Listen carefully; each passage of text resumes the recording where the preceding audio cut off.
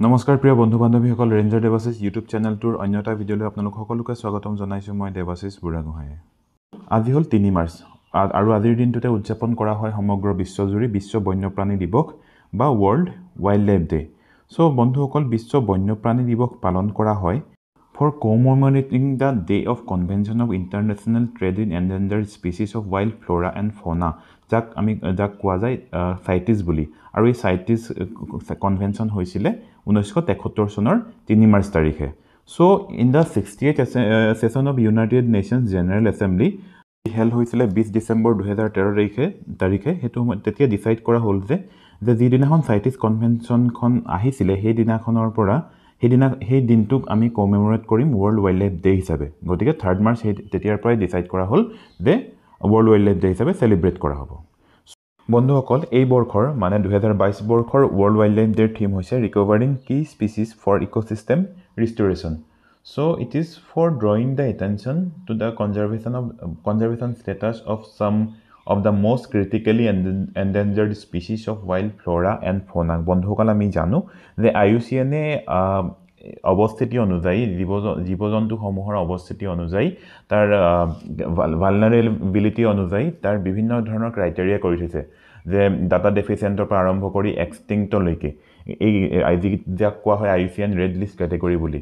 গতিকে এই I C N red list কেটেগৰীত থকা ক্ৰিটিকেলি এণ্ডেঞ্জাৰ্ড যিখিনি স্পিচিছ আছে ইভেন ফ্ল'ৰা ফ'না মানে গছ আৰু জীৱ গছ আৰু জন্তু বা এনিমেল সকলোখিনিকে কনজাৰ্ভ কনজাৰ্ভ কৰাৰ এটা মেছেজ দিব বিচাৰিছে যাতে ইক'ছিষ্টেম ৰিষ্ট'ৰেশ্যনত এই কি এনিমেলখিনিয়ে এটা ভাইটেল ৰ'ল প্লে' কৰে আৰু তাক ৰিকভাৰী কৰাৰ জৰিয়তে আমি এই ইক'ছিষ্টেম ৰিষ্ট'ৰেশ্যনৰ ক্ষেত্ৰত আমি ভাইটেল ৰ'ল প্লে' কৰিব পাৰোঁ। বন্ধুসকল আমি জানো যে already eight more than eighty eight thousand four hundred animals আৰু প্লেণ্টছ আছে যি ক্ৰিটিকেলি এণ্ডেঞ্জাৰ্ড আৰু মোৰ দেন থাৰ্টি থাউজেণ্ড প্লেণ্টছ আছে যি যি প্লেণ্টছ এণ্ড এনিমেলছ আছে যি অলৰেডি ভালনাৰেবল পজিশ্যনত আছে।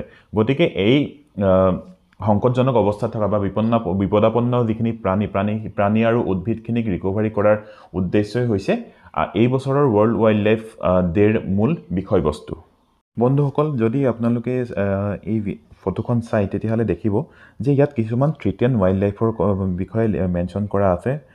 Starting from Bengal florican great Indian bustard Chinese pangolin golden langur hoolock gibbon greater adjutant stork Indian narrow headed softshell turtle then মিচিমিটিটা Greater one horn rhinoceros then Indian elephant, etc. So are some species which is under threat due to various reasons.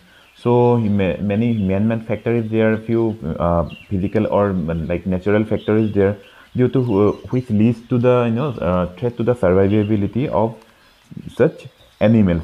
So' মই আজিৰ uh, যিটো topic মই হাতত লৈছোঁ wildlife world wildlife day' হিচাপে চ' আমি ইয়াত discuss কৰিম যে এই স্পিচিছখিনিৰ ছাৰ্ভাইভেলৰ কাৰণে বা এই স্পিচিছখিনিৰ কনজাৰ্ভেলৰ কনজাৰ্ভেশ্যন কৰিবৰ কাৰণে আমি কি কি ধৰণে ষ্টেপ হাতত ল'ব পাৰোঁ আমি আৰু আমি কি কি ধৰণে ইয়াত কাম কৰিব পাৰোঁ। ৱাইল্ড লাইফ বুলি ক'লে কি বুজো বাৰু? ৱাইল্ড লাইফ হ'ল আচলতে সকলোখিনি সেই এনিমেল আৰু প্লাণ্ট যি মানুহৰ সংস্পৰ্শৰ পৰা বাহিৰত থাকে তাকে কোৱা হয় ৱাইল্ড লাইফ বুলি বন্ধুসকল এই যে আপোনালোকে দেখিছে এখন নদী তাৰ কাষে কাষে থকা থকা শিলনিখন বা বালিচৰ বা যি এই গছ গছনি আছে বা হাবিখন আছে এই হাবিত যথেষ্ট জীৱ জন্তু পোৱা যায়। গতিকে এই এনিমেল আৰু প্লেণ্ট সমন্বিতে সমন্বিতে কোৱা হয় ৱাইল্ড লাইফ বুলি। বা জীৱ জন্তু আৰু তাৰ তাৰ বাসস্থান যিয়ে আছে পানী শিলনি বালি মৰুভূমি পাহাৰীয়া পাহাৰীয়া অঞ্চল বা বৰফ বৰফাবৃত অঞ্চল এই সকলোতে য'ত wildlife wild animal survive কৰিব পাৰে তাকে কোৱা হয় ৱাইল্ড লাইফৰ হেবিটেট বুলি। গতিকে বন্ধুসকল the key to wildlife conservation main কথাটোৱে হ'ল যে বন্যজীৱৰ বাসস্থান কনজাৰ্ভ কৰিব লাগিব। আমি বন্যজীৱৰ যদি বাসস্থান কনজাৰ্ভ কৰোঁ তেতিয়াহ'লে অট'মেটিকেলি ৱাইল্ড লাইফ কনজাৰ্ভেশ্যনৰ ক্ষেত্ৰত আমি এটা ষ্টেপ আমি হাতত ল'ব পাৰিম আমি আগবাঢ়িব পাৰিম। গম পালোঁ যে আমি হেবিটেট কনজাৰ্ভ কৰিলে আমি ৱাইল্ড লাইফ কনজাৰ্ভেশ্যনৰ ক্ষেত্ৰত এটা ষ্টেপ আমি ফৰৱাৰ্ড হ'ব পাৰিম। কিন্তু কথা হ'ল বন্ধুসকল এই আমি কিয় আচলতে বন্যপ্ৰাণীৰ সংৰক্ষণৰ গুৰুত্ব উপলব্ধি কৰিব লাগে? কথা হ'ল বন্ধুসকল যে বন্য বৰ্তমান বন্যপ্ৰাণী বা বন্যজীৱৰ স্থিতি যথেষ্ট চেলেঞ্জিং হৈ আছে। তাৰ বিভিন্ন কাৰণ আছে। সেই কাৰণসমূহ যদি আমি বিশ্লেষণ কৰোঁ তেতিয়াহ'লে আমি দেখিম যে ফাৰ্ষ্ট এণ্ড ফৰমষ্ট মেইন থ্ৰেডটোৱে হৈছে যে হেবিটেট লছ হেবিটেট লছ বহুত কাৰণত হ'ব পাৰে বন্ধুসকল।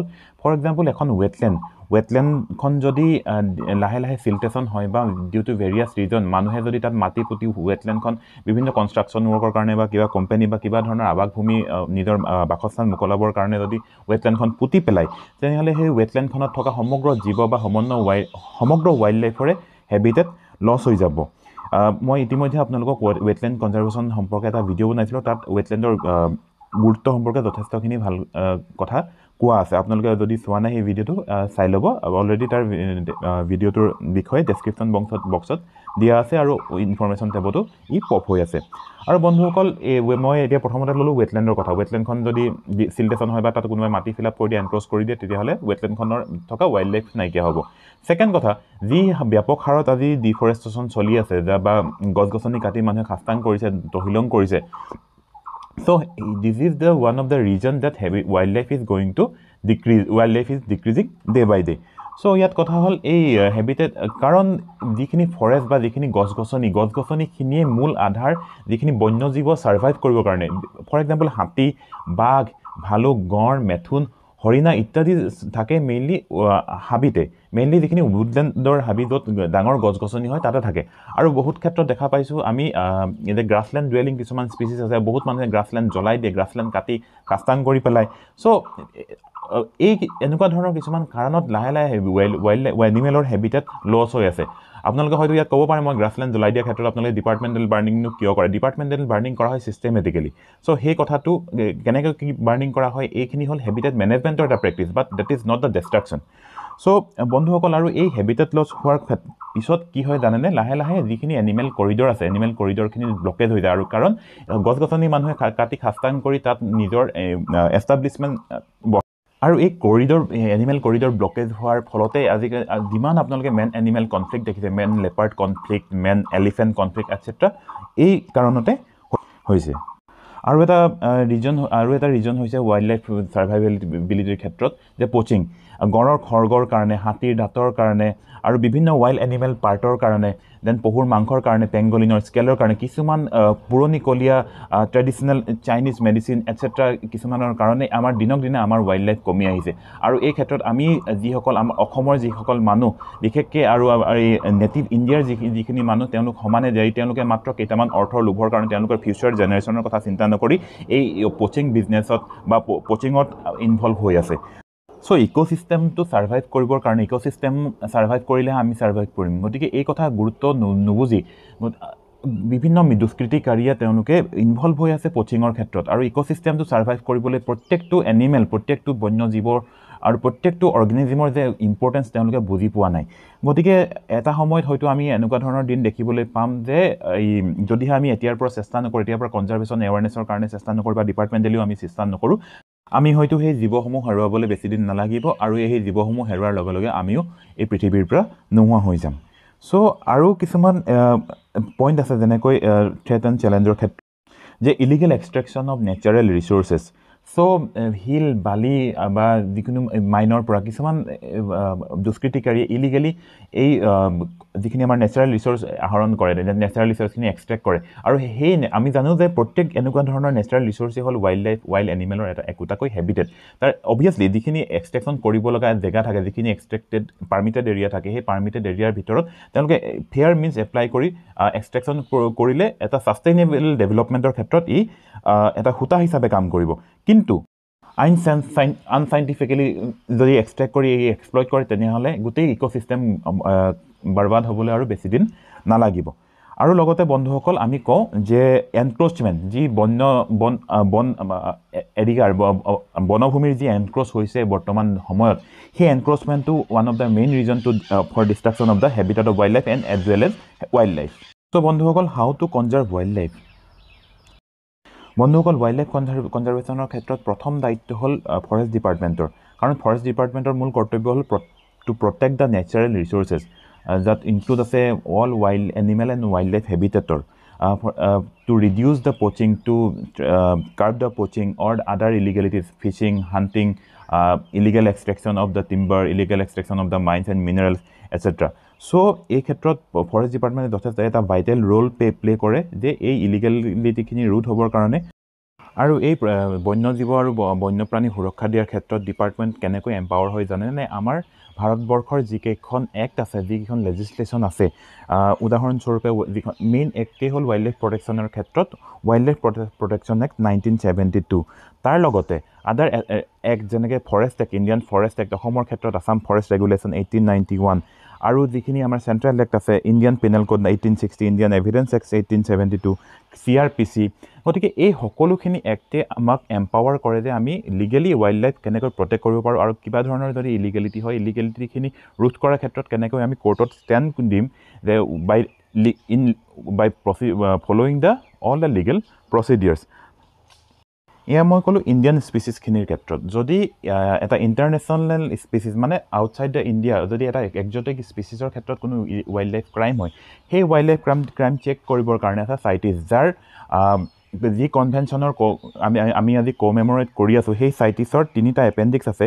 আৰু আৰু এই তিনিটা এপেণ্ডিক্সৰ আধাৰতে যি এণ্ডেঞ্জাৰ্ড স্পেচিছৰ ট্ৰেড ৰেগুলেট হৈ আছে আৰু কোনো ক্ষেত্ৰত কোনো ক্ষেত্ৰত কোনো স্পেচিছৰ ক্ষেত্ৰত বন্ধ হৈ আছে। গতিকে ইয়াৰ উপৰিও কনচাৰ্ণ কাণ্ট্ৰি কেইখনৰ বা ভাৰতৰ বাহিৰে আন আন যিখিনি কাণ্ট্ৰি আছে সকলোতে forest and wildlife regulation আছে আৰু সেই ৰেগুলেশ্যনখিনিৰ ভিত্তিত আৰু এই চাইটিছৰ এপেণ্ডিক্স কেইটাৰ ভিত্তিত চাইটিছৰ এপেণ্ডিক্স কেইটাৰ ভিত্তিত গোটেই ইণ্টাৰনেশ্যনেল ট্ৰেডটো ৰেগুলেট হৈ আছে আৰু কণ্ট্ৰল হৈ আছে।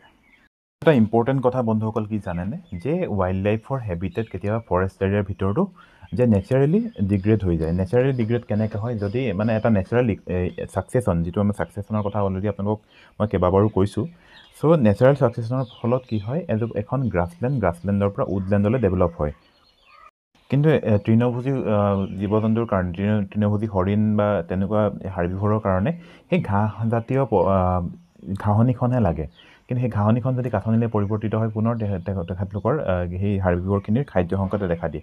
গতিকে কোনো কোনো ক্ষেত্ৰত কেতিয়াবা এই ঘাঁহনিখন বৰ্তাই ৰাখিবলৈ ঘাঁহনিখন ইনটেক্ট ৰাখিবলৈ কেতিয়াবা আমি যিখিনি ষ্টাফ ডিপাৰ্টমেণ্টেলি ষ্টাফ বা ট্ৰি স্পিচিছ কিছুমান বিভিন্ন প্ৰক্ৰিয়াৰ যোগেদি ৰিমুভ কৰা হয় আৰু সেইটো কমপ্লিটলি চাইণ্টিফিকেলি কৰা হয় যাতে গোটেই হেবিটেটটোৰ নষ্ট নহয়। আৰু তাৰ লগতে wildlife monitoring wildlife monitoring মানে আমি জানিব লাগিব যে আমি হেবিটেট কনজাৰ্ভ কৰি আছোঁ আমি ৱাইল্ড লাইফ কনজাৰ্ভেশ্যনৰ কাৰণে কাম কৰি আছোঁ কিন্তু সেই এৰিয়াটোত ৱাইল্ড লাইফ আচলতে আছেনে নাই? আমি সেয়া কেনেকৈ গম পাম জানেনে বিভিন্ন ৰিচাৰ্চ মেথডলজিৰ যোগেদি যেনেকৈ এনিমেলৰ এষ্টিমেশ্যন হয়। এই বছৰ অল ইণ্ডিয়া টাইগাৰ এষ্টিমেশ্যন চলি আছে। এনিমেলৰ প্ৰেজেঞ্চ আমি সেই তেতিয়া চোৱা যায় চ' এনিমেলৰ ডাইৰেক্ট চাইটিং চোৱা যায় আৰু এনিমেল ফৰ এক্সাম্পল কিছুমান এনিমেল যেনেকৈ বাঘৰ কেমেৰা টেপত চোৱা যায় গতিকে এনেকুৱা বিভিন্ন ধৰণৰ ক্ৰাইটেৰিয়াৰ যোগেদি এনেকুৱা বিভিন্ন ধৰণৰ মেথডৰ যোগেদি সেই এৰিয়াটোৰ এখন অৰণ্যৰ অৰণ্যত ৱাইল্ড লাইফৰ অৱস্থিতি বা ৱাইল্ড এনিমেলৰ অৱস্থিতিৰ বিষয়ে আমি গম পাব পাৰোঁ বন্ধুসকল এটা কথা জানেনে? আমি যদি ৱাইল্ড লাইফ কনজাৰ্ভেশ্যন কৰিব যাওঁ আমি অকল ৱাইল্ড এনিমেলকেইটা কনজাৰ্ভ কৰিবলৈ বা প্ৰটেকশ্যন কৰিলে পেট্ৰলিং কৰিলোঁ বা তাৰপিছত হেবিটেট মেনেজমেণ্ট কৰিলোঁ হেবিটেট ইম্প্ৰুভমেণ্ট কৰিলোঁ এইখিনি কাম কৰিলোঁ ঠিকেই আছে। কিন্তু যদিহে বন্ধুসকল আমি পাহৰি যাওঁ যে পিপলছ পাৰ্টিচিপেশ্যন চেপ্টাৰটো তেতিয়াহ'লে কিন্তু আমি কনজাৰ্ভেশ্যন সম্ভৱপৰ কৰিব নোৱাৰিমগৈ। প্ৰথম কথা পিপলছ পাৰ্টিচিপেশ্যন আমি কেনেকৈ কৰিব পাৰিম? আৰু পিপলছ পাৰ্টিচিপেশ্যন কিয় গুৰুত্ব বন্ধুসকল এই ক্ষেত্ৰত আমি ক'ম যে ফৰেষ্টখনৰ ওচৰৰ যিসকল কমিউনিটি তেওঁলোক ফৰেষ্টৰ ওপৰত ডিপেণ্ডেণ্ট আৰু সেই ডিপেণ্ডেণ্ট যিখিনি কমিউনিটি আছে সেই কমিউনিটিখিনিয়ে খিনিৰ ডিপেণ্ডেঞ্চিটো যদি আমি ফৰেষ্টৰ পৰা কমাব বিচাৰোঁ তেওঁলোকক আমি কিছুমান অল্টাৰনেটিভ লাইভলিহুড দিব লাগিব। তদুপৰি তেওঁলোকৰ মাজত এৱেৰনেছ সৃষ্টি কৰে কৰা। এৱেৰনেছ আমি আচলতে সকলোৱে সকলোৰ কাৰণে কৰিবলৈ চেষ্টা কৰিব লাগে। অকল ডিপাৰ্টমেণ্টে অকলে এৱেৰনেছ কৰি কৰিলে কৰিলেই নহ'ব। গতিকে সমগ্ৰ চিভিল ছ'চাইটি ষ্টুডেণ্ট হওক বা স্কুল কলেজত আদি আদি সকলোতে আমি এৱেৰনেছ প্ৰগ্ৰেম কৰিব লাগিব এৱেৰনেছৰ তেওঁলোকক বুজাব লাগিব সকলোকে বুজাব লাগিব যে কিয় ফৰেষ্ট আৰু ৱাইল্ড লাইফ আমাৰ কাৰণে গুৰুত্বপূৰ্ণ। মোৰ আজিৰ যিটো এই অনুষ্ঠানটো আজিৰ এই ভিডিঅ'টো ভিডিঅ'টো এটা এৱেৰনেছৰ পাৰ্ট বুলি আপোনালোকে ভাবিব পাৰে। চ' বন্ধু হ'ল ইক' টুৰিজিম ইক' টুৰিজিম হ'ল one of the part one of the method to involve people in conservation or to create awareness so' বন্ধুসকল আপোনালোকে যে কাজিৰঙা চাব যায় মানাহ চাব যায় নামেৰি চাব যায় ওৰাং চাব যায় পবিতৰা চাব যায় আপোনালোকৰ ৱাইল্ড লাইফৰ প্ৰতি থকা আগ্ৰহ আৰু প্ৰেম আৰু তাৰ লগতে আপোনালোকক সেই অৰণ্য অভয়াৰণ্য বা প্ৰটেক্টেড এৰিয়াখিনিলৈ গৈ আপোনালোকে জানিব পাৰে যে তাত কেনেকুৱা ধৰণৰ ৱাইল্ড লাইফ আছে আৰু তাত কনজাৰ্ভেশ্যনৰ কাৰণে ডিপাৰ্টমেণ্টে বা ওচৰৰ পাব্লিকে কেনেকুৱা ধৰণৰ ষ্টেপ হাতত লৈছে। সকল এয়া আমাৰ মই ক'লোঁ যে বেছিক কিছুমান ষ্টেপ বেছিক কিছুমান মেথড অফ কনজাৰ্ভেশ্যন এই ক্ষেত্ৰত আমাৰ ৰ'ল কি হ'ব বাৰু? আমাৰ ক্ষেত্ৰত আমাৰ এই ক্ষেত্ৰত মেইন ৰ'ল ৰ'লেই হ'ল যে কিবা যদি ইলিগেলিটি দেখিছোঁ তেতিয়াহ'লে প্ৰথমতে আমি চেষ্টা কৰিব লাগিব। আমি তাক ষ্টপ কৰিবৰ কাৰণে ৰোধ কৰিবৰ কাৰণে আৰু যদি সেই আপোনালোকৰ প্ৰচেষ্টাই যদি সফল ৰূপ দিয়া নাই আপোনালোকৰ নিজৰ ইণ্ডিভিজুৱেল প্ৰচেষ্টাই তেনেহ'লে তুৰন্তে অথৰিটিক জনাব লাগিব ডিপাৰ্টমেণ্টক জনাব লাগিব। লগতে আমি আমি চেষ্টা কৰিব লাগিব যাতে এই কনজাৰ্ভেশ্যন মেছেজ ৱাইল্ড লাইফ কনজাৰ্ভেশ্যনৰ মেছেজ সমাজৰ প্ৰত্যেকটো স্তৰলৈকে যায়। অবাল বৃদ্ধ পন্থীয়ে যাতে গম গম পায় আমি ৱাইল্ড লাইফ কিয় কনজাৰ্ভ কৰিব লাগে শ্ৰেণী স্থান কাল ভেদে সকলোৱে আমি জানিব লাগিব জানিব লাগিব যে আমি ৱাইল্ড লাইফ কনজাৰ্ভ কিয় কৰিব লাগে। গতিকে বন্ধুসকল আপোনালোকে কথাখিনি বুজি পাইছে বুলি ভাবিছোঁ। আৰু আমি বহুত কথা আছে ইয়াত। আমি বহুত কথা পৰৱৰ্তী পৰ্যায়ত আমি ডিছকাছ কৰিম বিভিন্ন সময়ত বিভিন্ন ক্ষণত। গতিকে আমি আশা কৰোঁ যে আজিৰ এই ৱৰ্ল্ড ৱাইল্ড লাইফ ডে'ৰ পবিত্ৰ ক্ষণত আমি এক একত্ৰিত হওঁ একগোট হওঁ যাতে আমি ৱাইল্ড লাইফ কনজাৰ্ভেশ্যন কৰিবৰ কাৰণে আমি বন্যজীৱৰ বাসভূমি কনজাৰ্ভ কৰিবৰ কাৰণে বন্যজীৱ কনজাৰ্ভ কৰিবৰ কাৰণে একত্ৰিত হওঁ। আৰু কনজাৰ্ভেশ্যন মেছেজটো যাতে সকলোৱে পায় কনজাৰ্ভেশ্যন এৱাৰনেছ যাতে সকলোৰে মানৱ মনত থাকে আমি কিয় কনজাৰ্ভ কৰিব লাগে সকলোৱে যাতে গম পাওঁ এই কথাখিনি আমি সকলোৰে মাজত বিস্তাৰ গতিকে বন্ধুসকল যদিহে আপোনালোকে ভাবিছে যে মোৰ এই ভিডিঅ'টোৱে wild life conservation message spread কৰাৰ ক্ষেত্ৰত অলপ হ'লেও অৰিহণা আগবঢ়াব তেনেহ'লে মই আপোনালোকক অনুৰোধ কৰিছোঁ যে আপোনালোকে এই ভিডিঅ'টো শ্বেয়াৰ কৰে আৰু ইতিমধ্যে মোৰ চেনেলত বিভিন্ন ধৰণৰ ভিডিঅ' আহি আছে প্ৰিপেৰেশ্যন সম্পৰ্কেও আহিছে এৱাৰনেছ সম্পৰ্কেও আহিছে আৰু যদি আপোনালোকে এতিয়ালৈকে ছাবস্ক্ৰাইব কৰা নাই ছাবস্ক্ৰাইব কৰি দিব। আৰু তেতিয়ালৈকে বন্ধুসকল আশা কৰিছোঁ এটা নতুন ভিডিঅ'ত আপোনালোকক লগ পাম। পুনৰ লগ পোৱাৰ আশাৰে টেক কেয়াৰ বাই বাই জয় হিন্দ।